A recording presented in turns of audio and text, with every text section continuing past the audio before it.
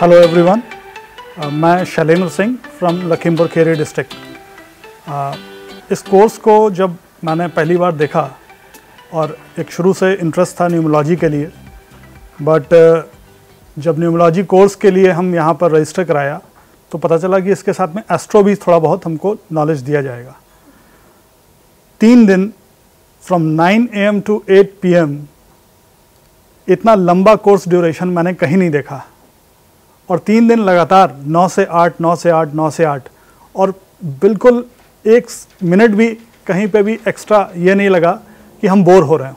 इतना बढ़िया कंटेंट इतनी बढ़िया रेमेडी टेक्निक्स इतना बढ़िया एस्ट्रो का समझाने का सर का तरीका ये मैंने अभी तक अपनी लाइफ में कहीं भी कि, किसी कोर्स में नहीं देखा।